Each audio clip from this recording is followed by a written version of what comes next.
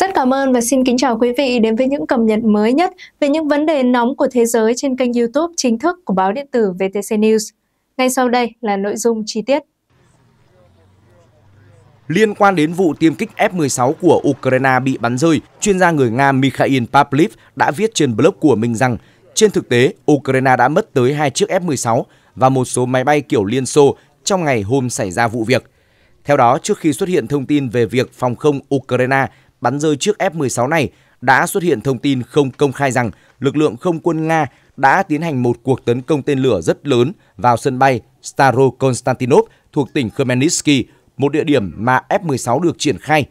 Chuyên gia Mikhail Pavlip giải thích rằng cuộc tấn công bằng tên lửa và máy bay không người lái của lực lượng vũ trang Nga rất mạnh mẽ và các kíp chắc thủ của hệ thống phòng không Ukraine rất lo lắng. Ngoài ra, tại sân bay Starokonstantinov, ngoài một chiếc F-16 bị tên lửa Nga đánh trúng, còn có một vài máy bay chiến đấu kiểu Liên Xô đã bị phá hủy chỉ trong một ngày. Đương nhiên là những tổn thất quá sức chịu đựng này đã khiến phương Tây và ông Zelensky nổi cáu, khiến ông Mykola Oleschak bị cách chức tư lệnh không quân Ukraine. Được biết, Ukraine từng kỳ vọng việc phương Tây chuyển giao tiêm kích F-16 sẽ giúp họ lấp khoảng trống phòng không, đối phó hiệu quả hơn với các đòn tập kích tầm xa của Nga. Tuy nhiên, F-16 có thể bắn hạ hiệu quả UAV và tên lửa hành trình, nhưng rất khó đối phó với tên lửa đạn đạo. Việc tiêm kích F-16 rơi vừa qua khiến một phi công thiệt mạng là tổn thất lớn về nhân sự và khí tài, thậm chí gây ảnh hưởng đến sĩ khí của quân đội Ukraine trong lúc họ gặp nhiều áp lực. Trước nỗi đau phòng không kéo dài, Tổng thống Zelensky tiếp tục kêu gọi phương Tây cho phép Ukraine dùng tên lửa tầm xa tấn công sâu hơn vào lãnh thổ Nga. Ông Zelensky nói đòn tập kích tầm xa có thể ngăn chặn những trận không kích của Nga là điều cần thiết ngay lúc này, không phải trong tương lai. Mỗi ngày chậm trễ đồng nghĩa với việc có thêm nhiều người thiệt mạng. Các quan chức Ukraine trong nhiều tháng hối thúc Mỹ cho phép dùng vũ khí viện trợ tấn công mục tiêu trên lãnh thổ Nga, trong đó có nhà kho và sân bay. Theo phía Ukraine, điều này có thể ngăn Nga tung đòn tập kích đường không quy mô lớn. Tuy nhiên, chính quyền Tổng thống Joe Biden từ chối, dường như muốn tránh hành động mà Nga coi là động thái làm gia tăng căng thẳng quy mô lớn. Kể từ khi phát triển ngành công nghiệp máy bay không người lái UAV nội địa, Ukraine đã đẩy mạnh các cuộc tấn công nhắm vào các cơ sở hạ tầng năng lượng, quân sự và giao thông trên lãnh thổ Nga nhằm ngăn Moscow duy trì xung đột. Tháng trước, Ukraine đã tiến hành một cuộc tấn công táo bạo xuyên biên giới vào khu vực Kursk của Nga. Các nhà phân tích nhận định cuộc tấn công có thể khiến Mỹ thay đổi lập trường về việc sử dụng vũ khí tấn công tầm xa, cũng như thay đổi suy nghĩ của phương Tây về hướng đi tiếp theo tại thời điểm này của cuộc xung đột. Ukraine hiện vẫn duy trì quan điểm cho rằng nước này có thể cải thiện tình hình nếu được nới lỏng các lệnh hạn chế phạm vi sử dụng vũ khí viện trợ. Mới đây, Kiev đã cho Washington một danh sách các mục tiêu trong lãnh thổ Nga mà họ chỉ có thể tiếp cận bằng vũ khí của Mỹ. Tổng thống Ukraine Volodymyr Zelensky cho biết các tên lửa tầm xa là cần thiết để bảo vệ đất nước một cách toàn diện. Theo ông, Kiev có thể dập tắt khả năng Nga thực hiện các đợt tấn công bằng UAV bằng cách phá hủy chúng ngay tại cơ sở quân sự của Nga trước khi chúng kịp cất cánh. Nhà lãnh đạo Ukraine đã cử một phái đoàn tới Washington trong một nỗ lực mới nhằm xin phép sử dụng ATAC-MS bên trong nước Nga. Người đứng đầu văn phòng của Tổng thống Ukraine Andriy Yemak và Bộ trưởng Quốc phòng Rustem Umerov dự kiến sẽ xuất hiện tại Nhà Trắng để trình danh sách các mục tiêu tấn công tiềm năng tới Tổng thống Joe Biden. Bên cạnh đó, ông George Barros, một nhà phân tích an ninh tại ISW, cũng nói thêm rằng tầm bắn tối đa của hệ thống HIMARS do Mỹ sản xuất tại Ukraine, loại vũ khí mà Mỹ cho phép Ukraine sử dụng ở Nga trong những trường hợp hạn chế, chỉ có thể đạt tới 20 mục tiêu. Các ATAC-MS mà Ukraine nhận được từ Mỹ bị giới hạn tấn công trong phạm vi khoảng 165 km và không thể sử dụng bên ngoài các địa điểm giao tranh với Nga Politico cũng trích dẫn lời các quan chức chính quyền của ông Biden rằng Mỹ sẵn sàng cung cấp cho Ukraine tên lửa hành trình JASM có thể sử dụng kết hợp với các tiêm kích F-16. Tuy nhiên, Kiev sẽ phải đợi thêm vài tháng trong khi Mỹ giải quyết các vấn đề kỹ thuật trước khi giao hàng. Ông Conway, giám đốc điều hành của công ty tư vấn Felix Defense, cho rằng điều này có thể làm thay đổi các kế hoạch tấn công của Nga nhằm ngăn Ukraine vượt tường lửa, đồng thời mang đến cho Ukraine cơ hội xuyên thủng hàng phòng thủ của Nga tại các chiến trường như Kursk. Ông Stephen Barrow, giáo sư giảng dạy các vấn đề quốc tế và công cộng tại Đại học Columbia cho biết việc Ukraine tấn công trả đũa Nga là hiển nhiên, song động thái này cũng có thể không mang lại kết quả. Bên cạnh đó, chi phí cũng có thể là một yếu tố khiến Ukraine lo ngại khi quyết định phát triển các loại tên lửa. Theo ông Biden, vũ khí tầm xa có thể tấn công các mục tiêu sâu như nhà máy lọc dầu nằm trên lãnh thổ nước Nga, thường đắt hơn nhiều các vũ khí thông thường. Trong khi đó, theo luật pháp Mỹ, viện trợ của Mỹ dành cho Ukraine cũng có giới hạn nhất định. Kể từ năm 2022, Washington đã cung cấp cho Ukraine khoản viện trợ quân sự khổng lồ trị giá khoảng 75 tỷ đô la Mỹ theo nguồn tin từ Politico. Việc chính quyền ông Joe Biden viện trợ quân sự cho Ukraine đã vấp phải nhiều sự phản đối ngay trong nội bộ, cụ thể là giữa Đảng Cộng hòa đối với Đảng Dân Chủ, đảng xuất thân của Tổng thống. Theo chuyên gia George Barros, nhà phân tích an ninh tại ISVK, giữa lúc cuộc bầu cử Mỹ đang bước vào giai đoạn nước rút và xung đột Nga-Ukraine có thêm một mặt trận mới ở Kursk, Nhà Trắng sẽ cần nhiều thời gian cân nhắc hơn về yêu cầu nới lỏng hạn chế sử dụng vũ khí của Kiev. Hiện Mỹ vẫn từ chối cho phép Ukraine sử dụng vũ khí của Mỹ để tấn công tầm xa sâu hơn vào lãnh thổ Nga. Cuối tháng trước, thư ký báo chí Lầu Năm Góc, Thiếu tướng Pat Ryder cho biết, liên quan đến tấn công tầm xa, tấn công sâu vào Nga, chính sách của chúng tôi không thay đổi. Chuyên gia Barros cũng cho biết trong lúc chờ Mỹ thay đổi quyết định, Ukraine đang thử nghiệm nhiều cách mới trong việc sử dụng UAV và các phương tiện tác chiến điện tử trên chiến trường. Tuy nhiên, nước này vẫn chưa đủ sức mạnh để tấn công các mục tiêu khó nhằn bên trong lãnh thổ Nga, bao gồm các căn cứ quân sự. Các nhà phân tích và blogger quân sự cho rằng Nga đã bắt đầu sản xuất hàng loạt bom lượn UMPB D30SN tầm bắn lên tới 120 km. Suy đoán này nảy sinh sau khi một bức ảnh xuất hiện trên kênh Telegram cho thấy một máy bay Su-34 MHO mang theo hai quả bom này. Nga lần đầu tiên sử dụng bom lượn UMPB D30SN ở Ukraine vào tháng 3 năm 2024 trong một chiến dịch oanh tạc ở Kharkov. Tháp truyền hình Kharkov được cho là đã bị dính bom UMPB-30SN trong một cuộc tấn công vào tháng 4. Cũng khoảng thời gian này, Nga sử dụng D-30SN trong chiến dịch Chasovya. Có rất ít thông tin UMPB D-30SN. Dự án có thể đã bắt đầu vào đầu thập kỷ hiện tại hoặc sớm hơn, thông thường sẽ phải mất vài năm để thiết kế và thử nghiệm. Nhưng loại bom mới này được sử dụng trên chiến trường Ukraine từ đầu năm nay. Điều đó cho thấy nó đã vượt qua tất cả các cuộc kiểm tra cần thiết và được bàn giao cho quân đội Nga.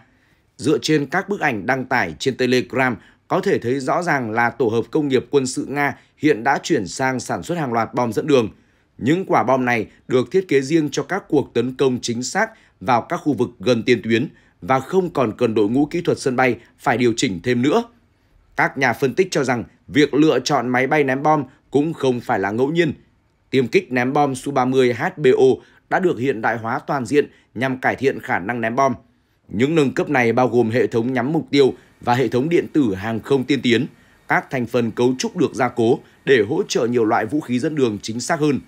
Trong quá trình hiện đại hóa, Su-34 HBO đã được tích hợp các hệ thống radar và quang điện tiên tiến giúp tăng cường độ chính xác khi nhắm mục tiêu. Ngoài ra, hệ thống liên lạc của máy bay cũng được nâng cấp, đảm bảo phối hợp tốt hơn với cả các đơn vị mặt đất trên bộ và trên không.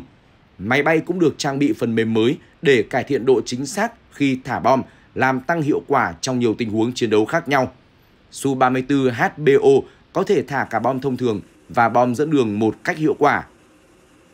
Theo các chuyên gia, UMPB D30SN có thể đạt tầm bắn lên tới 120 km, mặc dù con số này là trong điều kiện tối ưu. Trong khi đó, các loại bom trang bị mô đun UMPC chỉ có thể tấn công mục tiêu cách xa khoảng 60 km. Nhờ trang bị động cơ đẩy, mô đun lập kế hoạch và hiệu chỉnh thế hệ mới của Nga UMPB giúp cho bom lượn có tầm xa lớn hơn nhiều so với khi lắp UMPB như dòng bom FAB. Điều này cho phép UMPB D30SN được thả từ khoảng cách đáng kể, từ đó giảm thiểu rủi ro cho máy bay khỏi nguy cơ lọt vào tầm ngắm của hệ thống phòng không đối phương. Khi nói đến hệ thống và cảm biến, D30SN nổi bật với công nghệ dẫn đường tinh vi. Công nghệ này bao gồm cả hệ thống dẫn đường vệ tinh và quán tính, đem lại khả năng nhắm mục tiêu chính xác từ khoảng cách xa. Ngoài ra, cảm biến hiệu chỉnh giữa hành trình bay và khả năng tự dẫn đường đến mục tiêu giúp tăng cường độ chính xác của nó. Đối thủ gần nhất với bom lượn D30SN của Nga là GBU-39B của Mỹ. Cả D-30SN của Nga và GBU-39B của Mỹ đều tận dụng công nghệ dẫn đường chính xác và có khả năng lướt về phía mục tiêu, nhưng chúng khác nhau về hệ thống, đầu đạn và tầm hoạt động. Những quả bom này đều được phóng từ máy bay ở độ cao lớn, cho phép chúng có thể lướt được quãng đường khá xa. D-30SN sử dụng phương pháp tiếp cận dẫn đường kép với hệ thống dẫn đường quán tính và GLONASS dựa trên vệ tinh, tương tự như hệ thống dẫn đường GPS INS của GBU-39B đảm bảo nhắm mục tiêu chính xác từ khoảng cách xa. Về đầu đạn, D-30SN được trang bị đầu đạn nổ mạnh thông thường, được thiết kế để có độ chính xác cao khi tấn công các mục tiêu kiên cố trên mặt đất. Mặt khác, GBU-39B có đầu đạn nổ phân mảnh nhỏ hơn, nặng 250 pound, tương đương 113 kg, được thiết kế để xuyên sâu, khiến nó đặc biệt hiệu quả khi tấn công các bong ke ngầm hoặc các công trình kiên cố.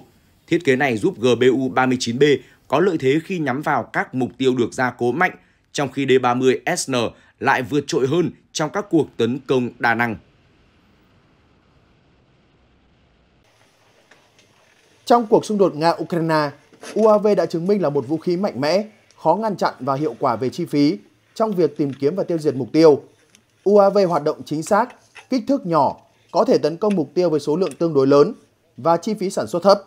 Sự phổ biến của UAV trong xung đột đã thúc đẩy các bên tìm ra giải pháp đối phó với chúng.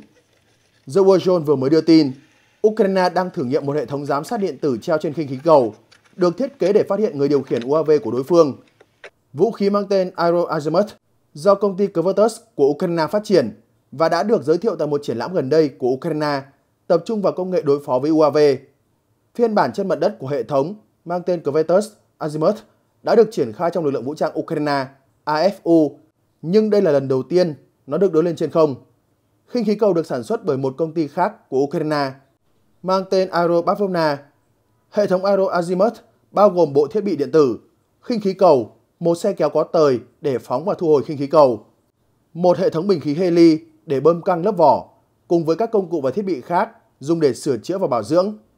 Aero Azimuth sử dụng thiết bị tình báo tín hiệu thụ động để phát hiện và sau đó định vị các tín hiệu tần số vô tuyến do người điều khiển máy bay không người lái phát ra để điều khiển máy bay của họ. Các tín hiệu này sẽ bao gồm các kênh truyền thông, đo từ xa và trao đổi dữ liệu. Thông tin mà Azimuth thu được sau đó có thể được chuyển tiếp đến quân đội theo thời gian thực để đưa ra hành động ngăn chặn phù hợp với người điều khiển UAV. Covertus cho biết Azimuth ban đầu được phát triển để đáp ứng yêu cầu tác chiến khẩn cấp UOR từ quân đội Ukraine về một hệ thống có thể phát hiện người điều khiển máy bay không người lái ở khoảng cách 14 km. Công ty cho biết bằng cách sử dụng hệ thống Azimuth gắn trên khí cầu bay cao từ 300 đến 700 m, phạm vi phát hiện có thể được mở rộng tới 60 km để tìm được vị trí chính xác. Theo Aerobavovna, khí cầu chứa đầy khí heli này có thể mang tải trọng 25 kg và có thể bay lơ lửng trong 7 ngày mà không cần bảo dưỡng hoặc nạp khí. Covertus cho biết tính chất thụ động của thiết bị phát hiện Azimuth và cấu tạo của khinh khí cầu Aerobavovna kết hợp với chuyển động rất hạn chế có thể gây khó khăn cho đối thủ trong việc phát hiện và nhắm mục tiêu hệ thống. Tuy nhiên, vẫn có nguy cơ khí cầu bị phát hiện bằng mắt thường và bị bắn rơi.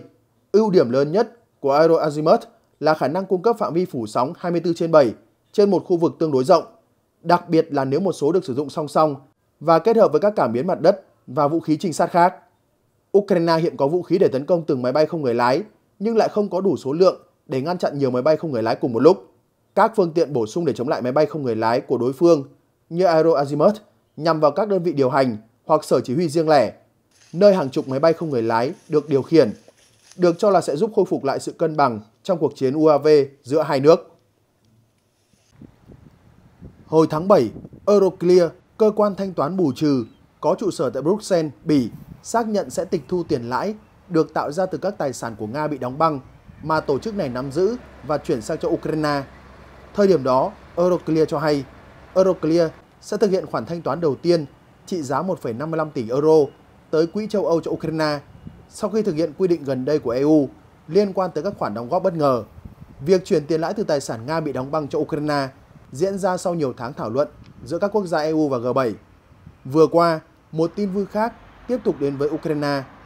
Theo European Pravda, dẫn nguồn từ cơ quan báo chí Bộ Quốc phòng Ukraine cho biết, cơ quan mua sắm quốc phòng của Bộ Quốc phòng đã ký kết hợp đồng đầu tiên về việc mua đạn dược bằng cách sử dụng số tiền gây quỹ qua nền tảng United 24 với tổng trị giá khoảng 1,34 triệu đô la Mỹ. Thứ trưởng Bộ Quốc phòng Ukraine Dmitry Klimenkov lưu ý, đây là một bước quan trọng trong việc tăng cường khả năng phòng thủ của quân đội chúng tôi qua các nguồn tài trợ mới. Vào tháng 5, chính phủ đã cho phép chuyển tiền cho các cơ quan mua sắm của Bộ Quốc phòng từ một tài khoản đặc biệt để hỗ trợ lực lượng vũ trang Ukraine được mở để thu hút các khoản đóng góp tự nguyện qua United 24. Kinh phí theo thỏa thuận với Bộ Quốc phòng có thể được chuyển ra cho các cơ quan để thực hiện mua sắm quốc phòng. Nền tảng gây quỹ United 24 là kênh chính để quyên góp ủng hộ Ukraine. Sau hơn 28 tháng hoạt động, nhờ sự quyên góp từ hơn 110 quốc gia, quỹ đã nhận được hơn 678 triệu đô la Mỹ. Cũng là một khoản tiền quyên góp khác, nhưng đáng tiếc là Ukraine đã không nhận được nó. Hồi tháng 3, Thủ tướng Ukraine Denis Mihan cho biết, hai sự kiện gây quỹ ủng hộ Kiev diễn ra ở Ba Lan năm 2022 đã huy động được hơn 16 tỷ euro, tức khoảng hơn 17,4 tỷ đô la Mỹ. Ông Smihan nói, Ukraine chưa nhận được bất cứ khoản nào từ quỹ này. Đây là số tiền do Ba Lan cùng Ủy ban châu Âu quyên góp để hỗ trợ Ukraine. Không rõ nó đã đi đâu, dùng để ủng hộ điều gì. Tháng 4 năm 2022, hai tháng sau khi Nga mở chiến dịch ở Ukraine, lãnh đạo Ủy ban châu Âu Ursula von der Leyen thông báo sự kiện hỗ trợ toàn cầu cho người tị nạn Ukraine ở Warsaw đã quyên góp được 10,1 tỷ euro. Chính phủ Ba Lan khi đó cũng tuyên bố một sự kiện khác diễn ra ở Warsaw đã huy động được hơn 6,3 tỷ euro để giúp đỡ Ukraine. Bài phân tích độc quyền của phóng viên Sputnik tiết lộ, Kiev tiếp tục mua máy bay không người lái Mavic do Trung Quốc sản xuất thông qua công ty con ở Ba Lan và các doanh nhân, bất chấp sự phản đối từ công ty sản xuất DJI. Nguồn dữ liệu trên cổng mua sắm Prozoro của chính phủ Ukraine cho thấy hợp đồng lớn nhất trị giá hơn 391,5 triệu hryvnia Ukraine, tức khoảng 9,5 triệu đô la Mỹ, để mua máy bay không người lái DJI đã được ký kết giữa Sở An ninh trực thuộc Hội đồng thành phố Kiev với công ty UMO Ukraine. Nhà cung cấp được yêu cầu giao 1.550 máy bay không người lái DJI Mavic 3T và 950 máy bay không người lái DJI Mavic 3E trước khi hết tháng 8. Theo thông tin từ trang web chính thức của UMO Ukraine, đây là công ty con của UMO Ba Lan, được thành lập năm 1997, chuyên cung cấp thiết bị quân sự. Các bài đăng trên mạng xã hội của công ty Ba Lan cũng quảng cáo sản phẩm DJI. Từ dữ liệu công khai cho thấy, công ty UMO Ukraine cung cấp máy bay không người lái DJI cho nhiều đơn vị khác nhau của lực lượng vũ trang Ukraine. Trong đó có lữ đoàn dù 25, đơn vị được giao 15 máy bay không người lái DJI Mavic 3 Pro với giá tương đương 24.000 đô la Mỹ. Còn lữ đoàn bảo vệ lãnh thổ độc lập số 103 được UMO Ukraine cung cấp 40 máy bay không người lái DJI Mavic 3 Pro với giá khoảng 68.000 đô la Mỹ. Ngoài công ty này, trong số các nhà cung cấp máy bay không người lái của nhà sản xuất Trung Quốc, còn có doanh nhân Alina Ostapenko, người đã ký hợp đồng cung cấp hàng nghìn UAV DJI Mavic 3 Pro cho sư đoàn 26 hạm đội đường thủy của Hải quân Ukraine. Ngoài ra, còn có các hợp đồng trị giá hàng trăm nghìn đô la Mỹ với các đơn vị thuộc lực lượng vũ trang Ukraine và các cơ quan nhà nước.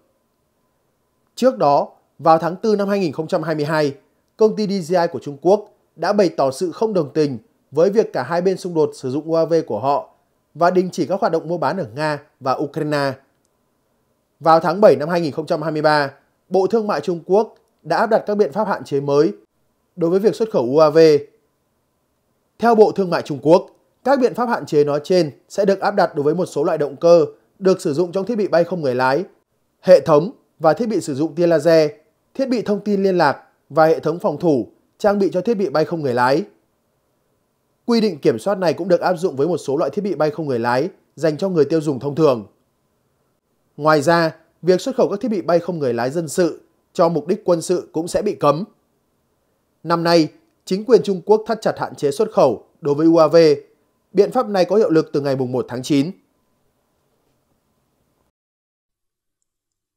Trong cuộc họp báo gần đây, phát ngôn viên Bộ Ngoại giao Mỹ Matthew Miller tuyên bố sự ủng hộ của Washington dành cho Ukraine chính là phản ứng đối với kế hoạch quân sự Nga đã phát động ở Ukraine.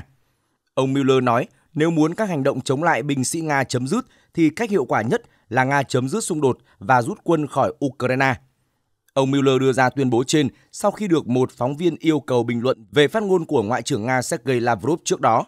Trước đó, khi được hỏi về khả năng Mỹ sẽ cung cấp tên lửa tầm xa cho Ukraine, Ngoại trưởng Nga Sergei Lavrov cảnh báo Washington không nên đùa giỡn với làn danh đỏ của Nga.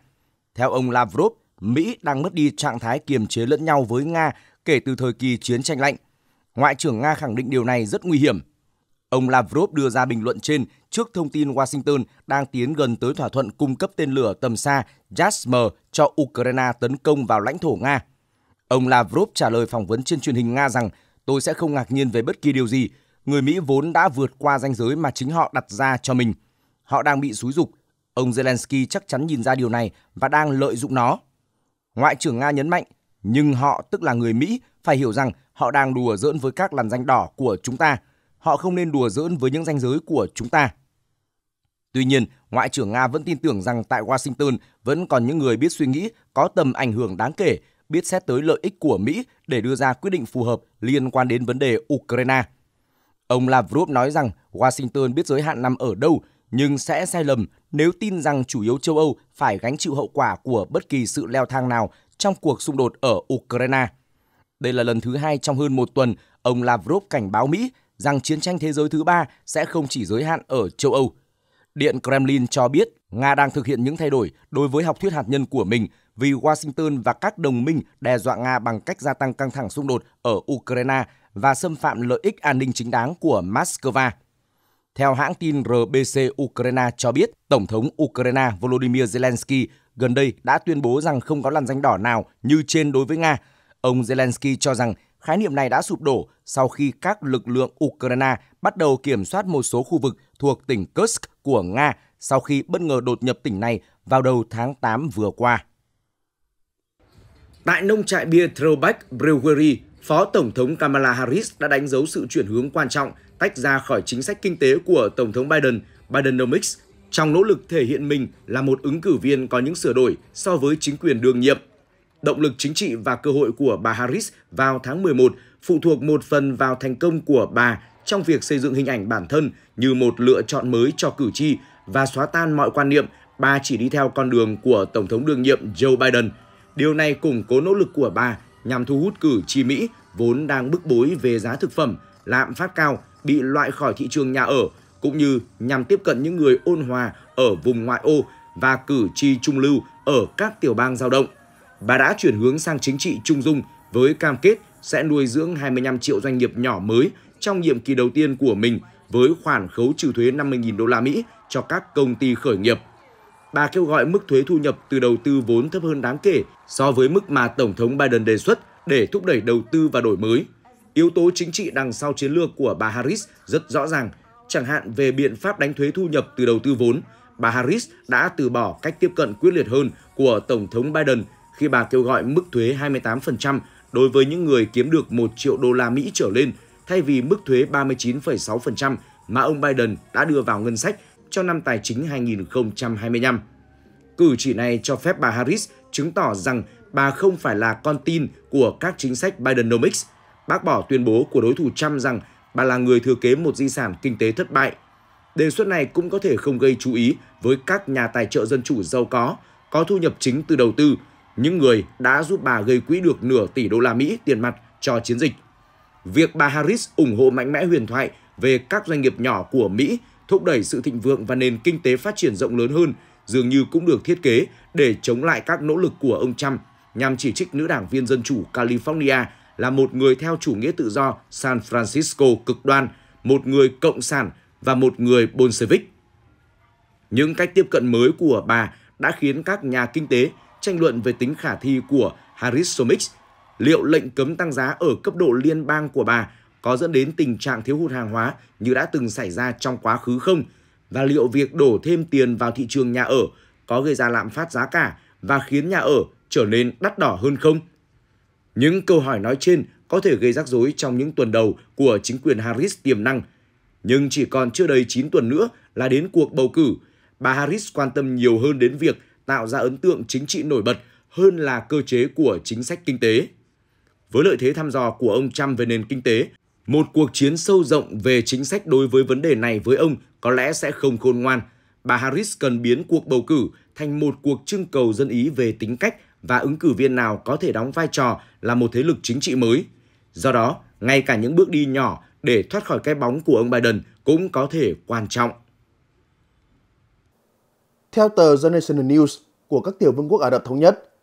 Giáo sư Alan Lichtman, người nổi tiếng với khả năng dự đoán chính xác kết quả của các cuộc bầu cử Tổng thống Mỹ kể từ năm 1984, vừa đưa ra nhận định rằng ứng cử viên Kamala Harris, đương kim Phó Tổng thống Mỹ, sẽ đánh bại cựu Tổng thống Donald Trump và trở thành Tổng thống thứ 47 của Mỹ trong cuộc bầu cử năm 2024. Nhận định này được giáo sư Lichtman đưa ra trong một cuộc phỏng vấn trực tuyến với tờ The New York Times, làm dấy lên những cuộc tranh luận sôi nổi về triển vọng chính trị của bà Harris.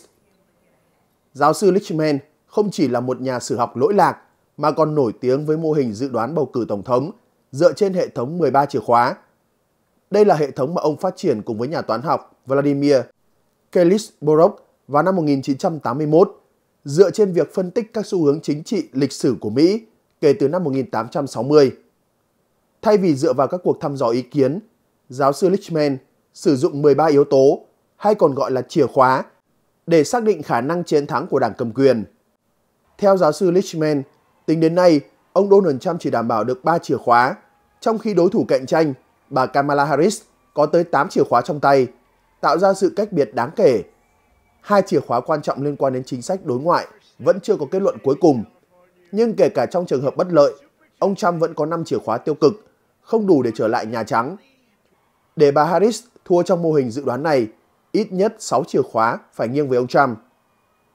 Mô hình của giáo sư Lichtman đã trở nên nổi tiếng đặc biệt sau khi dự đoán chính xác vào năm 2016 rằng ông Trump sẽ đánh bại ứng cử viên Hillary Clinton bất chấp nhiều cuộc thăm dò ý kiến và chuyên gia dự đoán ngược lại. Sau chiến thắng năm đó, ông Trump đã gửi một bức thư chúc mừng giáo sư Lichtman vì dự đoán đúng. Tuy nhiên, giáo sư Lichtman cũng là một trong những người đầu tiên dự đoán ông Trump sẽ bị luận tội, điều đã trở thành hiện thực vào năm 2021. Giáo sư Lichtman tiếp tục khẳng định danh tiếng khi dự đoán chính xác chiến thắng của ông Joe Biden trong cuộc bầu cử năm 2020.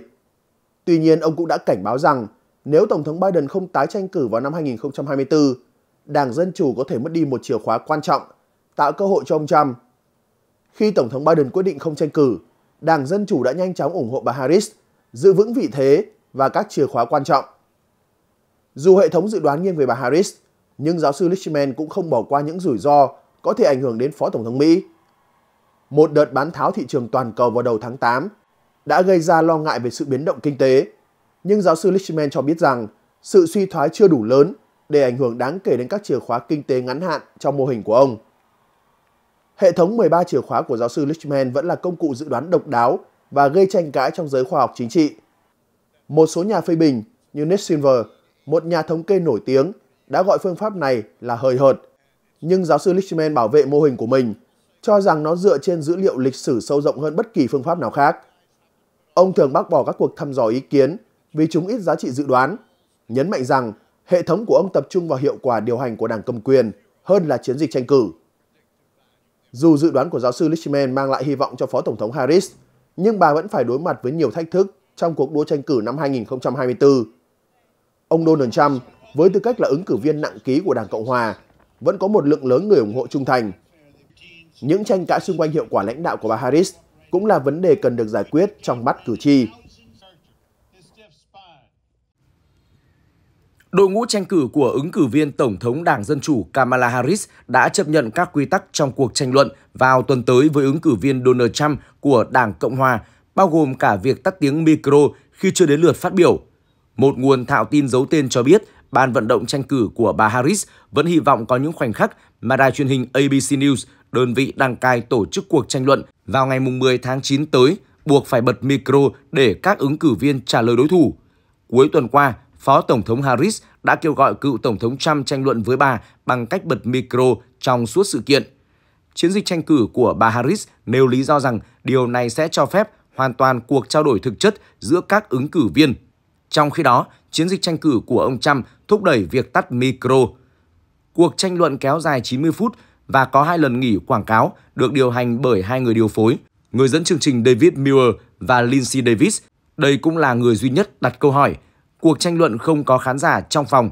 Cựu Tổng thống Trump từng đe dọa rút khỏi cuộc tranh luận vì không được trao cơ hội công bằng. ABC News cho biết thêm những quy tắc khác đã thống nhất với hai bên bao gồm không có tuyên bố mở đầu và tuyên bố bế mạc chỉ kéo dài 2 phút cho mỗi ứng viên. Ứng viên đứng sau bục suốt thời gian tranh luận, không được phép mang đạo cụ và ghi chú viết sẵn lên sân khấu, không chia sẻ trước chủ đề hoặc câu hỏi và ứng viên không được phép đặt câu hỏi cho nhau. Bà Harris và ông Trump có cơ hội trả lời câu hỏi trong 2 phút, phản bác trong 2 phút và làm thêm 1 phút để theo dõi, làm rõ hoặc trả lời. Ứng cử viên Phó Tổng thống của Đảng Dân Chủ Tim Walz và ứng cử viên Phó Tổng thống của Đảng Cộng Hòa J.D. Vance cũng đã đồng ý tranh luận vào ngày 1 tháng 10 tới trên đài truyền hình CBS News. Trong khi đó, chiến dịch tranh cử của ông Donald Trump cho biết cựu Tổng thống Trump và đảng của ông đã huy động được 130 triệu đô la Mỹ trong tháng 8 và kết thúc tháng này với 295 triệu đô la Mỹ tiền mặt trong quỹ. So với mức của tháng 7, hoạt động gây quỹ trong tháng 8 yếu hơn một chút khi chiến dịch tranh cử của ông Trump huy động được 138,7 triệu đô la Mỹ. Tính đến cuối tháng 7, chiến dịch tranh cử của ông Trump có 327 triệu đô la Mỹ tiền mặt trong tay. Còn bên phía bà Harris vẫn chưa công bố số liệu gây quỹ chính thức của Đảng Dân Chủ trong tháng 8. Trong tháng 7, chiến dịch tranh cử của bà Harris tuyên bố rằng họ đã huy động được tổng cộng 310 triệu đô la Mỹ. Sự thăng tiến của bà Harris đã tiếp thêm sinh lực cho chiến dịch tranh cử của Đảng Dân Chủ, vốn nghi ngại về cơ hội của Tổng thống Joe Biden do vấn đề tuổi tác và sức khỏe. Các cuộc thăm dò cho thấy ông Trump đã tạo được lợi thế trước ông Biden, kể cả ở các bang chiến trường, nhưng sự hiện diện bất ngờ của bà Harris đã khiến kết quả các cuộc thăm dò trở nên xít sao hơn. Khi cuộc tranh luận Tổng thống ngày 10 tháng 9 đang cận kề, ông Donald Trump và bà Kamala Harris đều đang nỗ lực để giành được thêm sự ủng hộ từ cử tri, đặc biệt là nhóm cử tri thuộc Gen Z từ 18 đến 27 tuổi.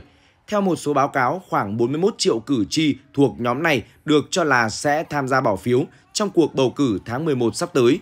Trong khi bà Harris chủ yếu tiếp cận cử tri trẻ tuổi thông qua những người có sức ảnh hưởng, thì ông Trump lại có cách làm khác. Mới đây, ông Trump tiết lộ rằng cậu con trai 17 tuổi Barron Trump của ông chính là vũ khí bí mật giúp ông giành thêm sự ủng hộ từ nhóm cử tri Gen Z. Ông Trump nói, tôi không biết nhiều về Gen Z, nhưng con trai tôi thì có. Barron sẽ giúp tôi kết nối với họ. Đó quả là một thành công to lớn. Những phát biểu trên của cựu Tổng thống xuất hiện trong một buổi phát trực tiếp với streamer Twitch và biểu tượng Gen Z Adin Ross thu hút gần 600.000 lượt xem. Trước đó, ông chủ cũ của Nhà Trắng cũng tham gia một cuộc phỏng vấn khác với tỷ phú Elon Musk trên X Spaces và xuất hiện trên podcast Deep Past Weekend của diễn viên hài Theo Von. Điều này mở ra cánh cửa mới cho ông Trump trong việc tiếp cận với nhóm cử tri này. Sự hiện diện của ông Trump trên các nền tảng mạng xã hội cũng được đẩy mạnh. Việc sở hữu mạng xã hội riêng, Truth Social, cho phép ông truyền tải thông điệp trực tiếp đến người ủng hộ mà không bị kiểm duyệt, đồng thời tạo ra một cộng đồng riêng nơi những người ủng hộ ông có thể tự do bày tỏ quan điểm. Chưa dừng lại ở không gian mạng, ông Trump còn tích cực tham gia các sự kiện thể thao và văn hóa dành cho giới trẻ như UFC 302. Sự kiện UFC 302 cũng là nơi ông Trump tận dụng sức mạnh của TikTok để kết nối với giới trẻ. Ông xuất hiện trong một video cùng với CEO UFC Dana White và bày tỏ rằng việc tham gia TikTok là vinh dự của ông. Theo cuộc thăm dò bầu cử mới nhất của Survey USA đối với nhóm cử tri trong độ tuổi 18 đến 34 tuổi, ông Trump dẫn trước bà Harris 4 điểm phần trăm. Một cuộc khảo sát tương tự cũng cho thấy 87% cử tri trong nhóm nhân khẩu học này chắc chắn hoặc có khả năng sẽ bỏ phiếu trong cuộc bầu cử tháng 11 tới. Các nhà quan sát nhận định đây là một tin vui với cựu Tổng thống sau nhiều tháng thường xuyên xếp sau bà Harris trên các bảng xếp hạng. Cựu Tổng thống Donald Trump và Phó Tổng thống Kamala Harris sẽ tham gia tranh luận trên ABC News vào 21 giờ ngày 10 tháng 9 theo giờ địa phương. Trả lời phỏng vấn báo Yomiuri, Nhật Bản, ông Karim Khan, người đứng đầu văn phòng công tố của Tòa án Hình sự Quốc tế ICC, bày tỏ lo ngại về các áp lực lên tòa từ Mỹ liên quan đến việc điều tra các cuộc tấn công của Israel tại giải Gaza, cũng như nhiều thành viên của tòa bị những người ủng hộ Nga và Israel đe dọa. Tháng 5 vừa qua, ông Karim Khan cho biết đã đề nghị ICC bắt giữ Thủ tướng Israel Benjamin Netanyahu, Bộ trưởng Quốc phòng Joab Galan cũng như các thủ lĩnh hàng đầu của phong trào Hồi giáo Hamas vì những hành động của họ trong cuộc xung đột kéo dài hơn 7 tháng qua tại Gaza. Thời điểm đó, cả chính phủ Israel và phong trào Hồi giáo Hamas đều chỉ trích và phản đối yêu cầu của trưởng công tố ICC. Tháng 6, Hạ viện Mỹ đã thông qua một dự luật với đa số phiếu nhằm áp đặt lệnh trừng phạt lên các quan chức của tòa này. dự luật sẽ trở thành luật khi được Thượng viện Mỹ thông qua và được Tổng thống Mỹ ký. Liên quan đến xung đột Nga-Ukraine, tháng 3 năm 2023, ICC đã phát lệnh bắt Tổng thống Nga Vladimir Putin và Ủy viên về quyền trẻ em Liên bang Nga bà Maria Lvova-Belova. ICC đã gây áp lực lên Mông Cổ, một quốc gia thành viên, phải bắt giữ ông Putin khi ông đến thăm Mông Cổ ngày 2 tháng 9. Tuy nhiên, Mông Cổ đã chào đón nhà lãnh đạo Nga bất chấp yêu cầu. Một phát ngôn viên của chính phủ Mông Cổ trả lời trang Politico qua thư điện tử rằng Mông Cổ nhập khẩu 95% các sản phẩm dầu mỏ và hơn 20% điện từ các khu vực lân cận của chúng tôi. Nguồn cung cấp này rất quan trọng để đảm bảo sự tồn tại của đất nước và người dân. Mông Cổ luôn duy trì chính sách trung lập trong mọi mối quan hệ ngoại giao như đã thể hiện trong các tuyên bố của chúng tôi cho tới nay. Ông Khan cho biết nhiều quan chức ICC đang phải chịu nhiều lời đe dọa từ những người ủng hộ Nga và Israel.